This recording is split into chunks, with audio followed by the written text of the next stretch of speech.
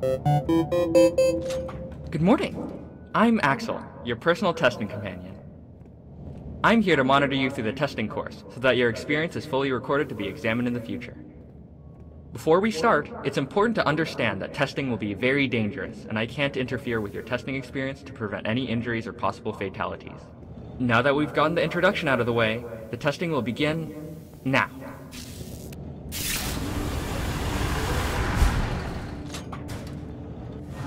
Tunnels can be pretty hard to latch onto, but you'll get the hang of it.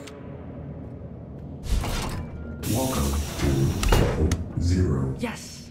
Level 0. This first test should be very simple. You'll fi- Yay! I knew you'd be able to do- Most subjects experience overexhaustion from testing as hard as you just did, so here we have one of many rest areas designed for your health.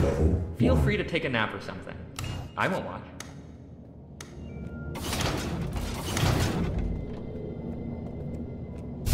Another test done. I'm sure you're very excited to finish them all. You'll love what we have for you afterwards.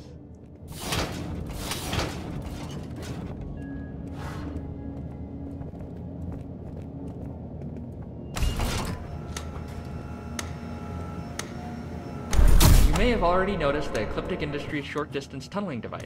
It's required to continue on to the next tests. Most subjects may fear the Ecliptic tunneling device. You did it! Tunnels can be really cool, but it's important that you understand the safety guidelines that come with it. I'll read them as we continue on to the rest of the test. Rule 1. You cannot place tunnels on metallic surfaces. Metals tend to repel tunnel technology. Rule 2. Not really a rule, but you shouldn't worry about falling from high altitudes. The weird things on your legs take up all the shock. Rule 3. Do not straighten your arms. The device has a big kickback when you fire, you don't want to break any bones. Or new level! Don't be intimidated by the size of the room. Velocity, or speed, is constant between two tunnels. For example, if your pencil happened to roll off your desk into a tunnel on the floor while your other tunnel was on a wall, it would fly out of it.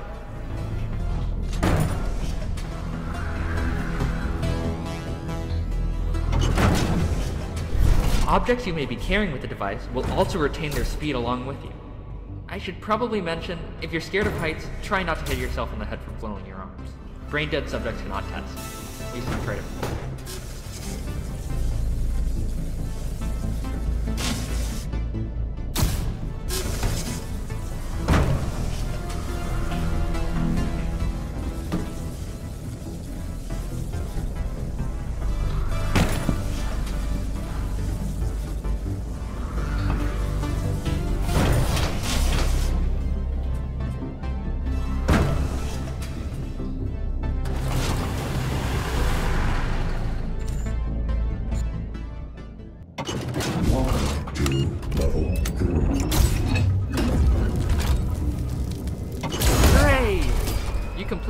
chamber without any guidance.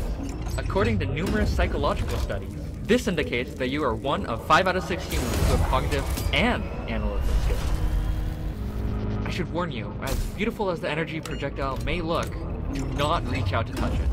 Seriously, it will kill you.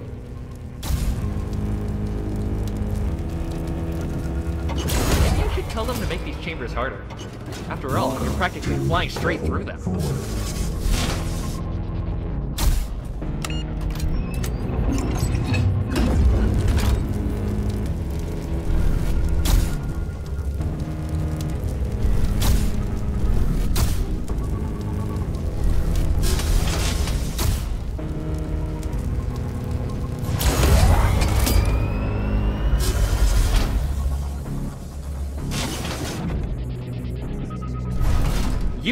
Solving these chambers at a superior rate. That's a compliment. Anyways, to continue testing, you'll need to trade your tunneling device with a modified one in the middle of the room. Please, continue.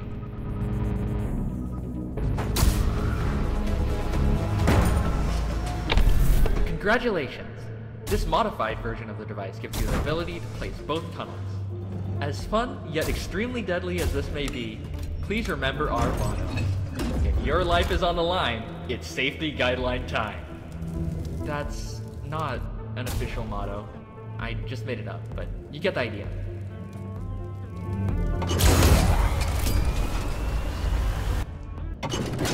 One, two, level 5.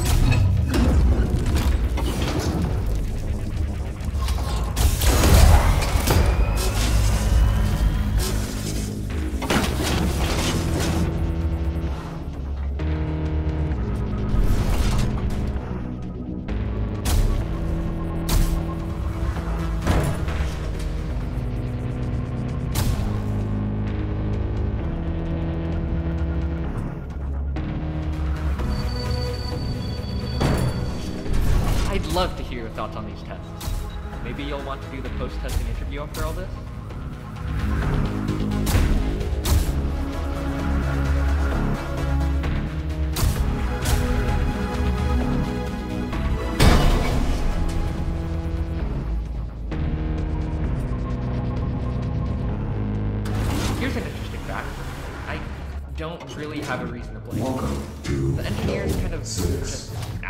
So I can connect better with the test subjects. Also, mainly to discourage test subjects from shooting me with a tunneling device.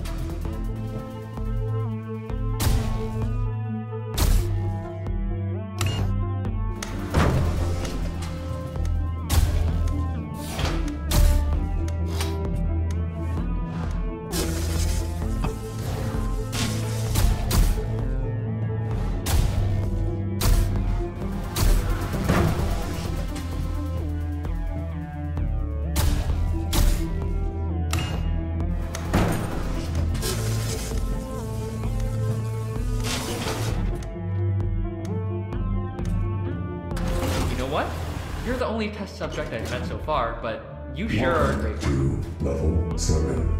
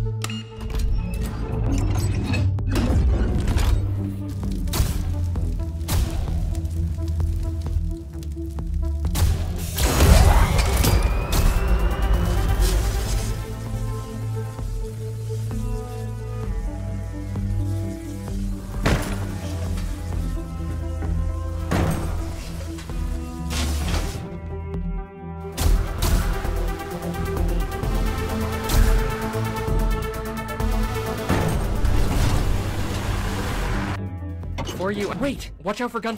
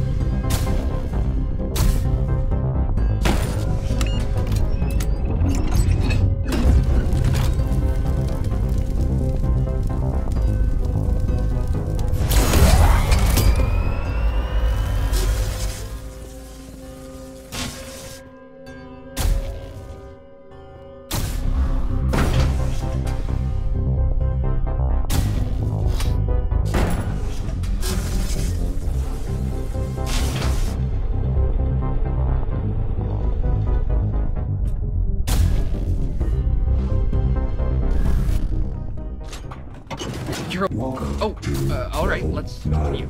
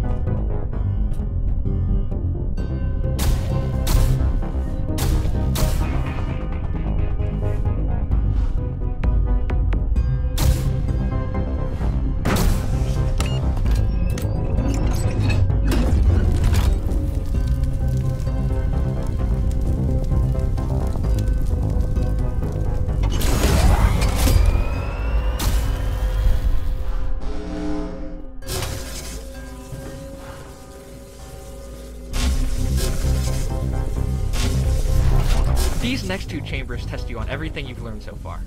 Don't worry, you can do it.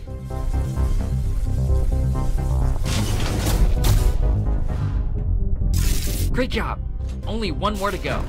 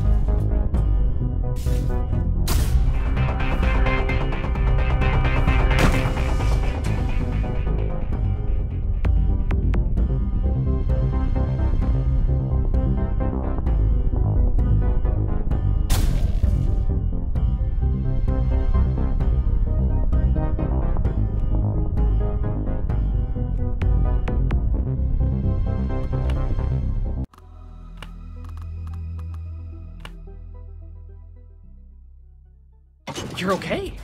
Seven. Oh, uh, all right. Let's continue.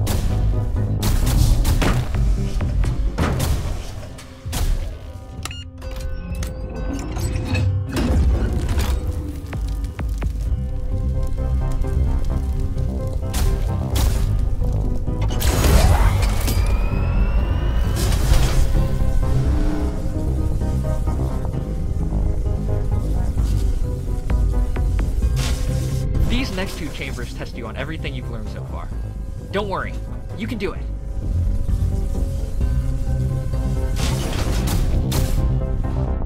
Great job! Only one more to go.